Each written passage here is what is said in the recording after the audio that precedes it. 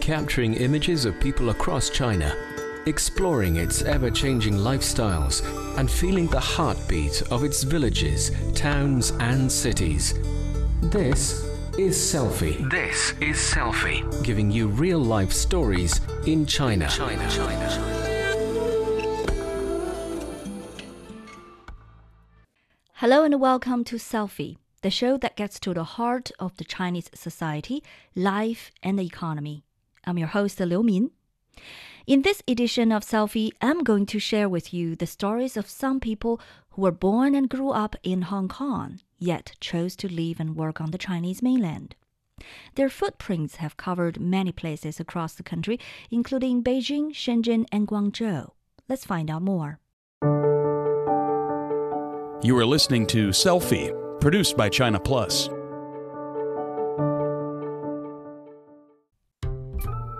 Some say Chinese is one of the most difficult languages in the world, and learning it is almost impossible.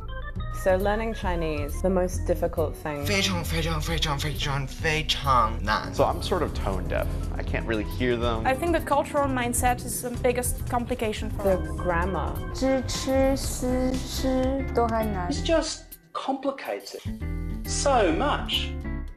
Only because you're not learning it in the right way. why not try Takeaway Chinese, where you can take some Chinese away and experience progress day by day? Takeaway Chinese, we will promise you a difference. You are listening to Selfie, produced by China Plus.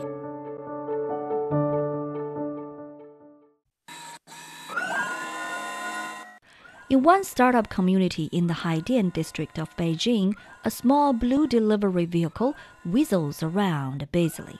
It's an automated logistic robot taking parcels to customers' doorsteps. The robot can run at 12 kilometers an hour and is controlled by the cloud intellectual system. It can avoid pedestrians, obstacles, and other vehicles and delivers its parcels on time. One of the robot's creators is 31 year old Li Xinglong from Hong Kong. Li was born and grew up in Hong Kong. In 2016, he came to Beijing with one of his college alumni and set up a high tech company, the Beijing Gen Robotics Company. Li and his partner focused on developing a delivery robot to help logistic companies deliver parcels inside communities. But why did he choose to do it in Beijing? It's something he's been asked many times. In fact, every time when I got this question, I would like to repeat the question again. Why not? Why you wouldn't choose to come? To be honest, there are so many opportunities in the Chinese mainland.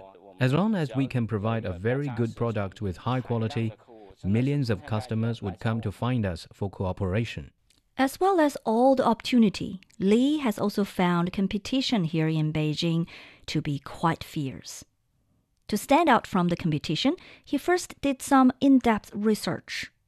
With a major in IT, he was already interested in robotic development, but actually, the idea to create a robot came from Taobao.com. I learned how to use Taobao when I settled down here, and then I was surprised by all these deliveries going every day to every household. We did some research and found logistics is actually a huge market in the Chinese mainland. After he set up the company, he traveled to Shenzhen, Shanghai, and other cities across the country to expand his reach. He passed his own home many times, but never got the chance to go back to Hong Kong to visit his family. Many e tricycles in Beijing deliver parcels to university students, but they are not allowed to go onto the campus. At the university gate, he saw parcels piled up and realized it was a lot of hassle for students and teachers to get their parcels.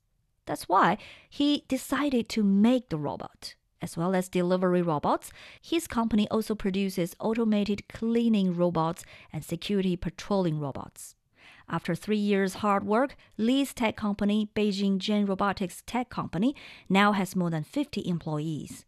His company is based in Zhongguancun, the Beijing version of Silicon Valley. He has more than 50 customers, including some overseas. Basically, we provide special tailored products for export. We have overseas customers. They're looking for this around the globe, and they found us. They told me they didn't expect to see such efficient products. Then we signed the deal. But it wasn't just his work that kept him in Beijing. Li also fell in love with life in the Chinese capital. He says the city is attractive not only in terms of providing opportunities, but also with its rich culture and convenient life. There is the Palace Museum, the Summer Palace, and the Great Wall. And there is the taxi hailing app. Plus, we can pay digitally. Soon, I'm sure, we'll be able to pay by scanning our faces. I think it's a world leading experience. High tech development has helped narrow the gap between the southern and northern cultures. As a local Hong Konger, Li says he's quite satisfied with the life here. I just order fresh food on the mobile app, and it can be delivered to my home within an hour. If I need some ingredients from Hong Kong, I just buy them on Taobao. Li says he never wants to limit himself and thinks nothing is impossible. He believes people in Hong Kong need to step outside the city and look at the development going on elsewhere before they decide which place is suitable for them. I want to encourage my Hong Kong pals to look around. They can come to the Chinese mainland. The development here is really fast. They can also travel overseas. If you find a perfect place to work or start your own business, then you can stay. Li Xinlong recently shared his experience at a forum, describing how he started a business in the Chinese mainland. He suggests finding a partner from the mainland to cooperate with and an incubator platform or a startup competition to showcase one's idea. It's also useful to get funding or a financing channel, and then just do it. You are listening to Selfie, produced by China Plus.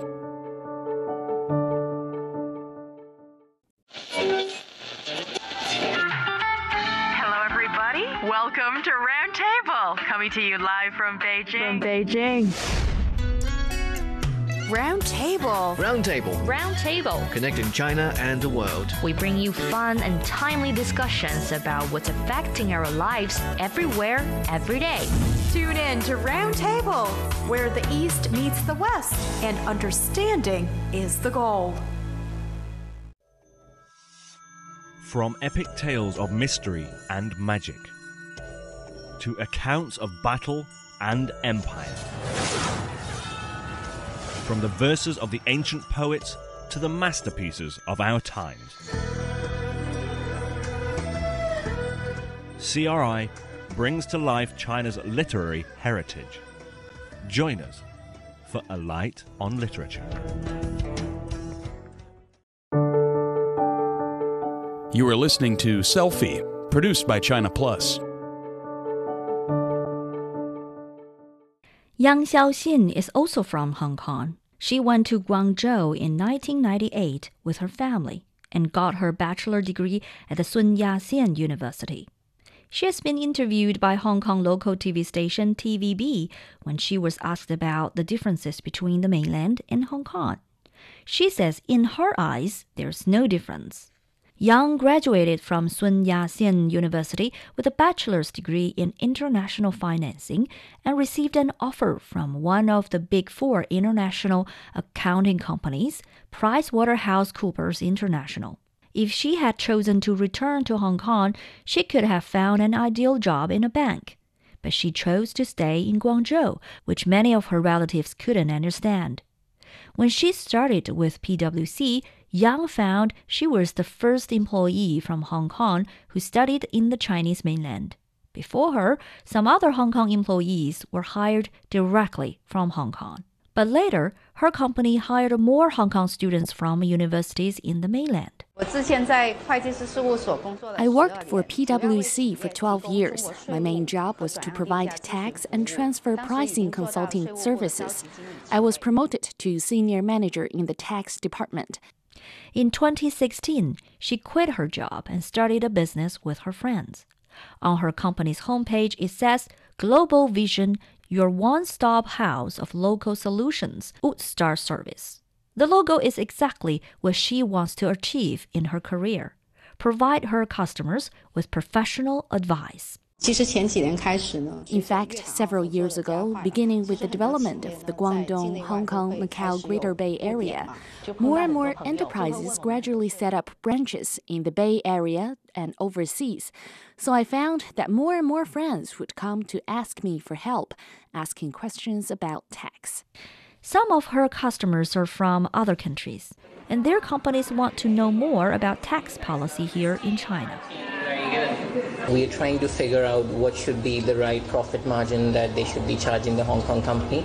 So we are compliant with the rules in China, and at the same time we can, uh, you know, minimize the tax burdens. See, that's possible to uh, do some tax planning by utilizing the different tax rate between these two cities. Yang has found that the opening up policy has helped millions of Chinese businesses grow, and more and more companies' bosses want consultancy services, especially in tax. Many of them find it hard to understand professional reports from the Big Four, but want more down to earth suggestions. They want straight answers about what to do. Instead of reports with dozens of pages of terminology, Chinese companies need friendly but professional advice. Yang's company provides tailored services for companies from the Chinese mainland and other services for overseas customers. We have also encountered some foreign friends who are concerned about their personal income tax. They want to know the local policy and the benefits they can get in local cities. They are confused about these issues. They also turn to us for help. We've also developed a mini app to help them calculate the tax they need to pay, and they all find it quite helpful. Yang says she's happy to help her friends in the Chinese mainland. After years of living and working there, she's accumulated a wide network and made lots of friends. She's considered to be a warm hearted person among her friends. One of my friends who works in Hong Kong has to travel back and forth on business. His company reported his own personal income every time. He earns 60,000 yuan a month, but he was only getting half because his company didn't understand the mainland's tax policies and regulations. With my help, he has saved a lot of money. Yang actually has another identity, vice president of the service department of Tianhe district of the Hong Kong Macau youth community. Tianhe is a district in Guangzhou. She's in a WeChat group of more than 500 friends. They're all active startup young people from Hong Kong and Macau. The outline development plan for the Guangdong, Hong Kong, Macau Greater Bay Area was published in 2019 and we've also organized some seminars and meetings to help friends from Hong Kong understand the plan and learn about the beneficial policies to help us boost our businesses. The outline plan benefiting Hong Kong and the Macau people was announced on November the 6th, 2019, following the third plenary meeting of the leading group for the development of the Bay Area. One of the measures that has aroused great interest is granting the same rights to Hong Kong and Macau people as local residents to buy properties in the nine Guangdong cities in the region. Skyrocketing house prices in Hong Kong have been worrying residents for years. Many residents, especially young people, are struggling to own a roof over their heads in one of the world's least affordable cities. Some commentators say the preferential policies are a gesture of goodwill from the mainland authorities, showing they are making concrete efforts to help Hong Kong overcome its long-standing social and economic problems. Yang says she feels lucky to be among the early batch of young Hong Kong people to start her own business in the Chinese mainland. And she wants to tell more Hong Kong friends to find opportunities in the Bay Area. The Big Bay Area is actually encouraging people to start their own business. Many young people in Hong Kong do want to find a new path by exploring the mainland market, but they don't know how to start. They feel lost sometimes. I think my role is to help them solve problems and share my experience. If they have any questions or worries, I'd love to help. The outline plan actually has very specific policies encouraging people to come and find a job, make a living, or even start a business. Yang also mentions that many local Hong Kong people are concerned about housing, kids' education, health benefit, and etc. in the Chinese mainland. Those concerns have stopped them from going to the Chinese mainland to find opportunities. But in the outline plan released in November 2019, favorable policies have been launched to cover education and public services. Children of Hong Kong and Macau residents working in the Guangdong province can enjoy the same education as their mainland counterparts.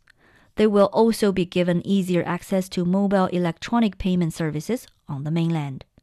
Support will also be provided for developing the Shenzhen Hong Kong Innovation and Technology Cooperation Zone, as the Bay Area blueprint aims to turn the 11 city cluster into an international technology and innovation hub and offer more opportunities to young people from Hong Kong. Hong Kong and Macau entrepreneurial teams can now get preferential treatment in aspects like office rental, taxation, and housing. Hong Kong and Macau professionals in various sectors will also find it easier to work in the Bay Area as the region is pushing for mutual recognition of professional qualifications. In the tourism sector, Tour guides from the two special administrative regions, after applying for special certificates, will be allowed to practice in the Hengqin new area in Zhuhai. Young people from Macau will also benefit from deeper integration. The Hengqin new area recently introduced 32 preferential policies to help Macau youths start and develop businesses in the area. The policies targeting Macau residents aged between 18 and 45 offer assistance in fundraising, platform building, talent incentives, living support, and entrepreneurial consulting. They will also get help in launching startups in fields such as technology innovation, medical health, cross boundary commerce, culture, tourism, exhibition, and professional services.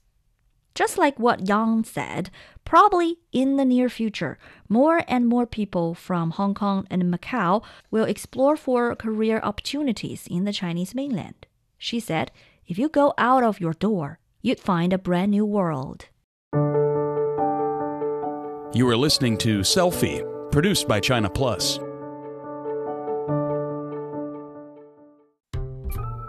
Some say Chinese is one of the most difficult languages in the world, and learning it is almost impossible. So learning Chinese, the most difficult thing. So I'm sort of tone deaf. I can't really hear them. I think the cultural mindset is the biggest complication for the us. grammar. It just complicates it so much. Only because you're not learning it in the right way. Why not try Takeaway Chinese where you can take some Chinese away and experience progress day by day? Take away Chinese, we will promise you a difference. You are listening to Selfie, produced by China Plus.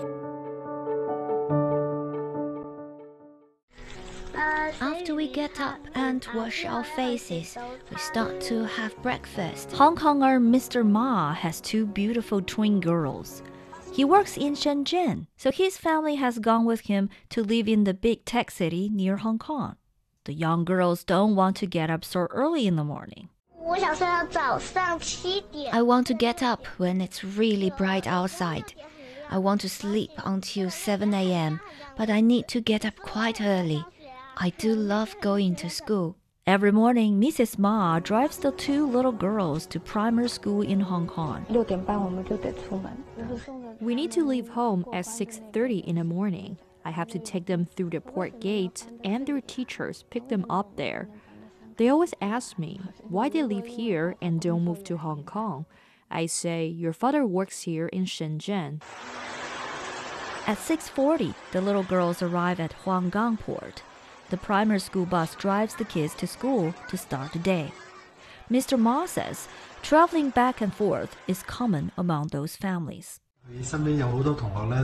Many of my daughter's schoolmates are like them. They live in Shenzhen but go to school in Hong Kong. They make friends on the school bus because they are similar to each other.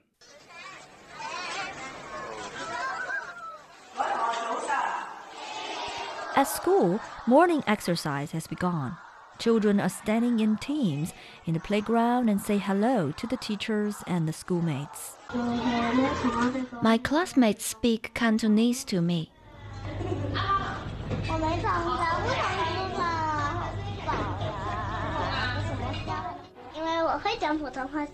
But I can also speak fluent Mandarin. I should speak fluent Cantonese, but my Mandarin is much better. When I want to go to the toilet, of course, I speak Cantonese because we are in Hong Kong. Mr. Ma smiles and shares his experience living across the cities. There was one time when the teacher asked me to get the children to speak more Cantonese. I said they are already going to school here in Hong Kong, so they should pick it up very quickly. How can I help them speak more at home since we are in Shenzhen? One of the twins says Shenzhen and Hong Kong are similar to each other in her eyes. If you come to Shenzhen, you are welcome to play games with us in my community. We can play lots of games together. The two cities are more or less the same. Shenzhen is bigger and Hong Kong is smaller. Mr. Ma says he thinks traveling back and forth is tiring, but also a unique experience for the little girls. I think it's great for them to experience life from both sides, living in Shenzhen but going to school in Hong Kong. I think when they grow up, they will get meaning of living across the border. It will help them in the future. This is the president of the Baptist Rainbow Primary School. It's very interesting to see these kids spending their life from 8 a.m. to 3 p.m. in Hong Kong and the rest of the day in Shenzhen. When they grow up, they will choose whether to live and work in the mainland or in Hong Kong. Within the Great Bay Area, Shenzhen has been building a Shenzhen Hong Kong Special Cooperation Zone for technology and innovation with a total investment of 50 billion yuan. That's around 7.19 billion US dollars. At the same time, the project is attracting hundreds of people not only from Hong Kong but also Macau and other countries to start a business in Shenzhen. The cooperation zone aims to straddle the boundary between the two cities. The Shenzhen portion covers 3 square kilometers. Artificial intelligence, smart manufacturing, biology, medicine, and life sciences are the major focus projects in the zone. The zone aims to achieve an industrial scale of 18 billion yuan and cultivate 100 enterprises with an output value of more than 100 million yuan each. The Shenzhen government has also brought in about 20 high level incubating carriers, including national key laboratories and technological centers, and has drawn about 100 experts through the nation's Global Experts Recruitment Scheme, Thousand Talents Program, and the city's Peacock Plan, aimed at attracting professionals. And its opportunity that's one of the major reasons why many Hong Kong families have moved to Shenzhen with major infrastructure projects linking Hong Kong and Guangdong opening in recent years, it only takes about an hour to travel between the cities in the Guangdong, Hong Kong, Macau, Greater Bay Area. It now takes Hong Kong residents less than 20 minutes to reach Shenzhen via high speed train and about 40 minutes to drive to Zhuhai over the Hong Kong Zhuhai Macau Bridge, which opened a year ago as well as shopping centers, department stores, and restaurants that offer holiday promotions. Banks have introduced a special Greater Bay Area dual currency credit cards to attract Hong Kong residents. You are listening to Selfie, produced by China Plus.